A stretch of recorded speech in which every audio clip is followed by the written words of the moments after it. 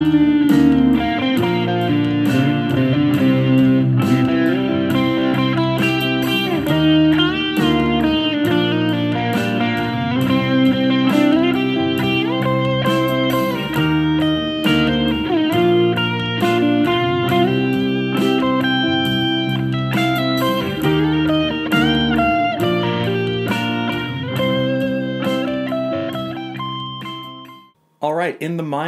Trey Anastasio with the master music formula for Fast Enough for You.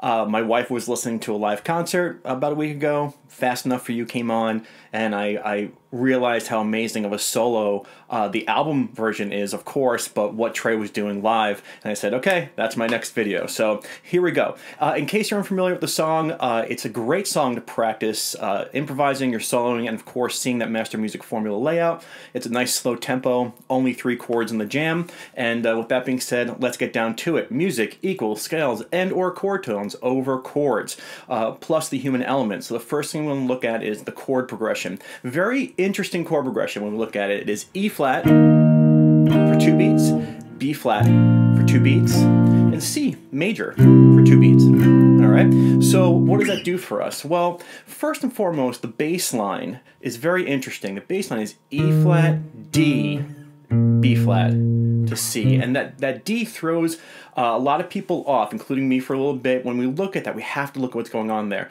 Um, the bass line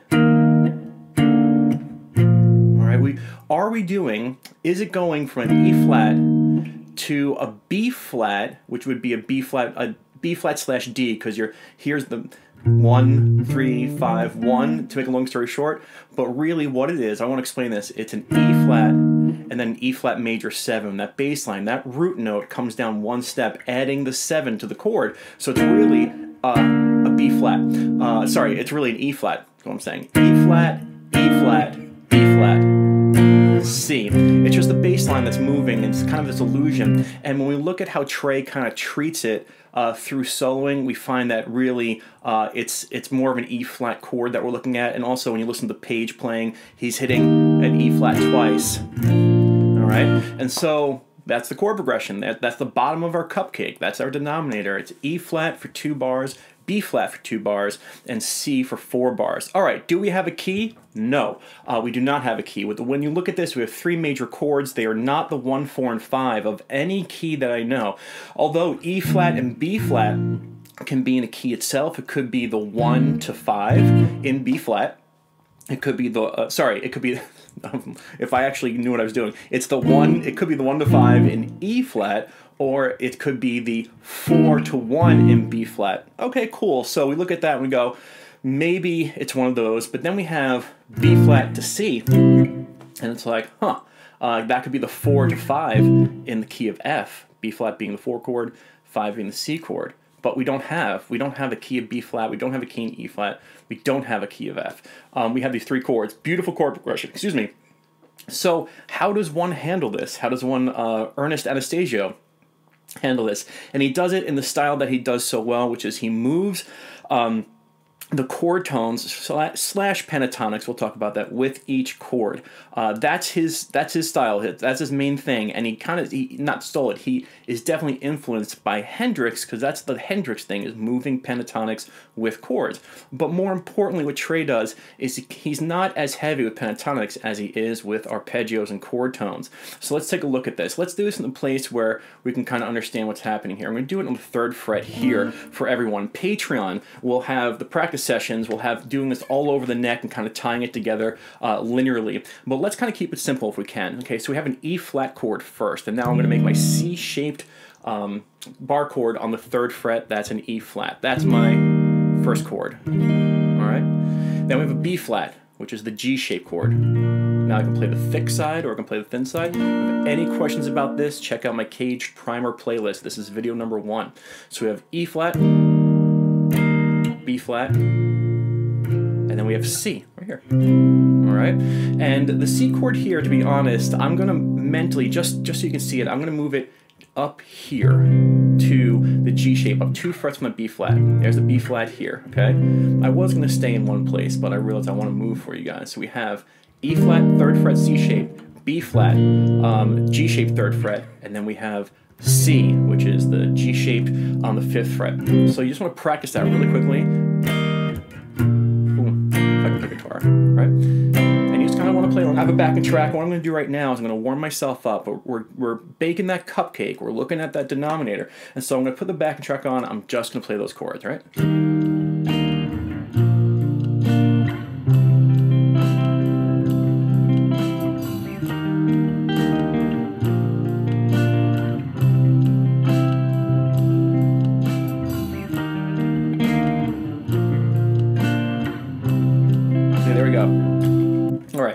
So I practice those chords, you can see them. Now, what does Trey do here? When you listen to the album version, which is probably one of the most beautiful solos, you know, out there, um, it sounds so uh, amazing. And when you realize that it's pretty much 100% chord tones, maybe 99% with a little bit of pentatonic sprinkled in, but the idea is that it's all chord tones. So you want to look at your arpeggios. So let's take that C shape, E flat chord.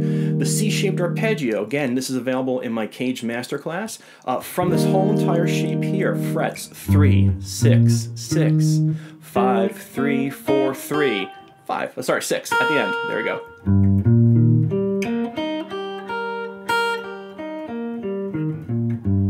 Practice that. Want to practice that arpeggio shape up. All right, next, and down. Uh, next is the G-shaped arpeggio. Very easy arpeggio shape. Uh, six, five, three, three, three, six, six.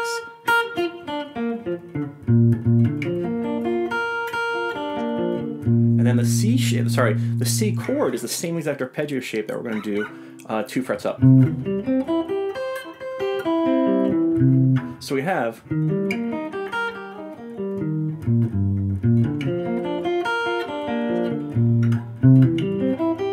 Alright, those are the notes we're going to use. And now when we pay attention to what's happening, um, we are now getting into the numerator, the uh, music equals scales and or chord tones, all right, happening with those chords. So we're up there, and we have the arpeggios of the chords that are happening in order.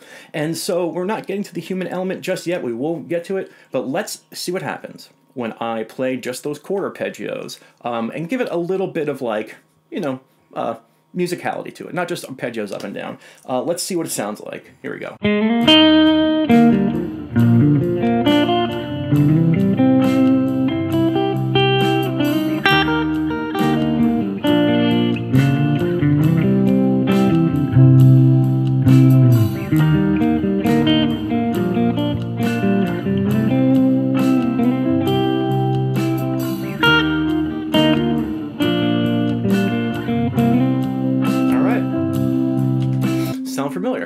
Because this is exactly what Trey is doing. Now he's doing it, you know, all across the fretboard at boss level. And so, um, yes, definitely practice the chords with the chord progression. That gives you the, the denominator.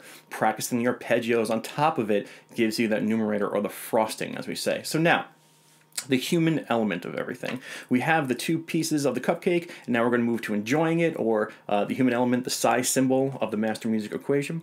Uh, what does Trey do in this? Now, the biggest thing that I want to talk about first, we're going to get to bending, we're going to get to all this, but we're going to be talking about using the B flat arpeggio to decide which direction you want to go in for the C.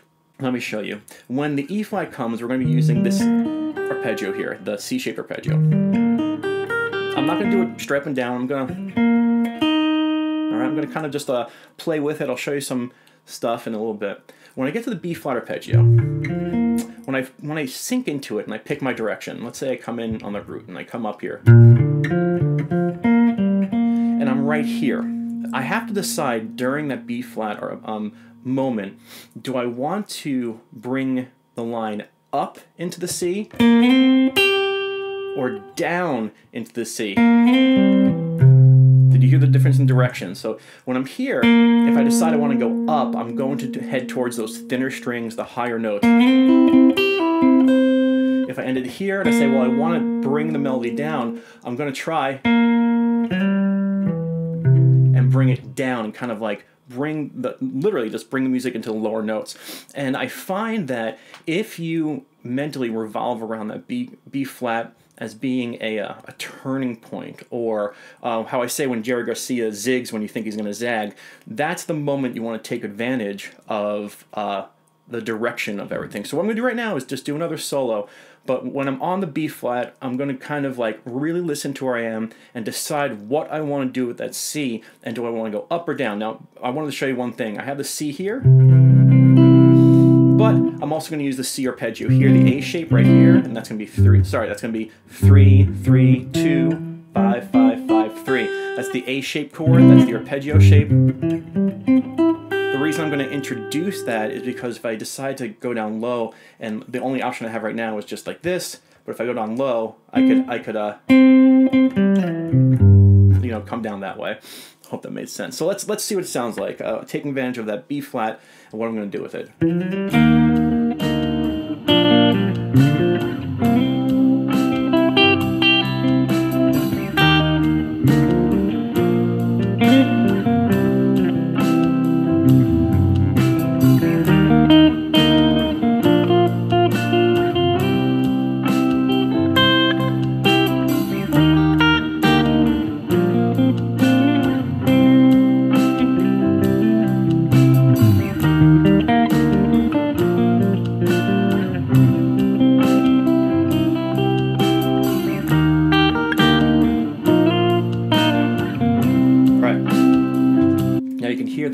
And, and now we have our map here that we're kind of all working with together. And again, the Patreon sessions they're going to have, um, you know, putting it all together across the neck and how to see it and how to practice it with the fret numbers. Everything I pretty much did to get this video rolling. All right, so um, human element stuff that you want to look at. All right, one thing you want to look at is bending that F to a G. Uh, when you look at the notes of an E flat chord, it's E flat, B flats, and G's, and that note that note G is in the chord. And the, the thing that Trey does a lot is take the F, which is right here, uh, sixth fret of the B, and down into the E flat. He's really just using here's the one, this is the two of the scale. I'm going to talk about this in a second. Bending it up to the uh, major third coming down into the one, and then by that time you're in the B flat. All right, and there's that B flat arpeggio. Now, this brings up a great discussion here of is Trey using pentatonics? And the answer is he is in the, slightest slightest way, which is totally just these little tiny foot bridges towards your arpeggios. So studying the pentatonics that go with the shapes, very important. So let's just look at that really quickly and see if we can get a handle on it. So the C shape, we have the arpeggio, but now we have that form 4 or the C shape pentatonic. And if you remember my how to solo with the music video, I, I always say you can take a non-chord tone where this is the root, this is the 2, and you can mess with it. And he does. He brings it up to the 3. Down to the root note and he might mess around with other ones, but bending the F to the G to hit that major third, the E flat, is such a move that you hear Trey do. Um, also, uh, you hear him definitely put in on live performances these um, like You Enjoy Myself type arpeggios where he's doing these like one two three one two three one two three these little sets. Or really right? And so you might, you know, putting in little clusters, bending.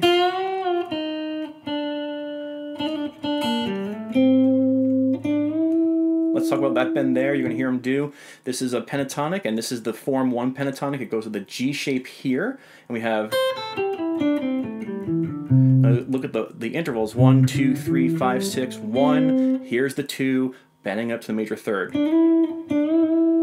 All right, it's the same exact move we do for the uh, E flat, but this is a human element that Trey likes to put in. So let's see if we can use the arpeggios, use pentatonics very, very slightly, very slightly. Uh, if you need to uh, mess with that root note and that major second into the major third uh, when you need to, and play some arpeggios against the chords that are happening. Let's see if we can get this.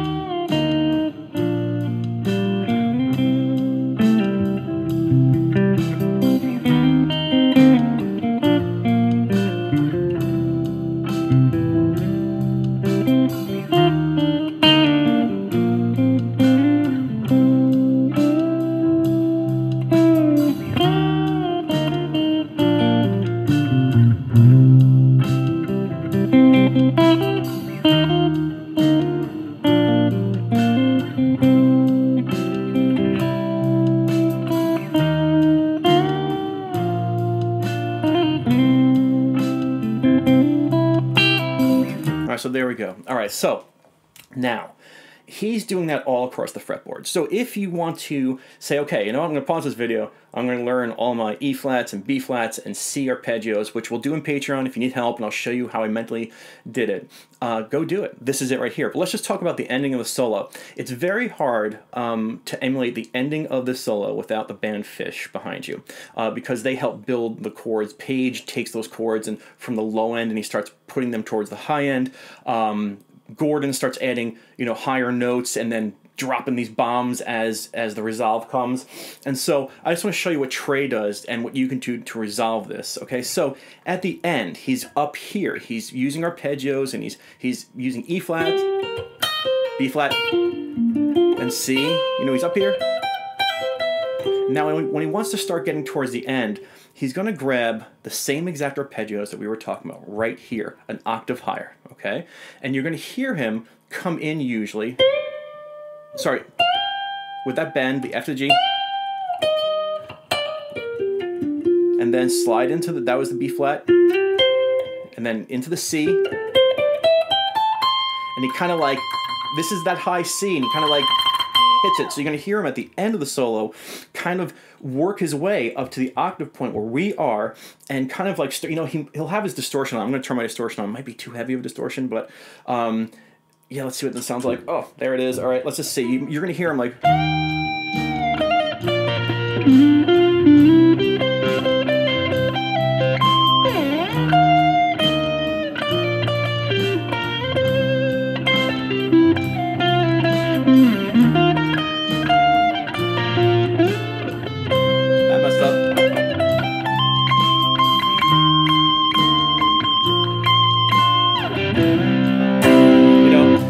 build up to there like that. Not necessarily just like I did. That was kind of depressing. Uh, but that's really the art form of soloing over um, Fast Enough for You really really simple uh, in in idea uh, getting getting those arpeggios down making them flow together using some bends and deciding which direction you want to go in uh, when you hit that B flat. Really adds that human element. And so I'm going to play myself out. You're going to see what I'm doing here. Again, if you want to practice this, get this down, um, join me on Patreon practice sessions. We'll, get, we'll, we'll do it. But thank you so much for being here. And this is the Master Music Formula in action. Uh, how you got to look at it from the ground up to be a successful guitar player. Uh, I'll stop talking. Thank you so much for being here, and I'll see you soon.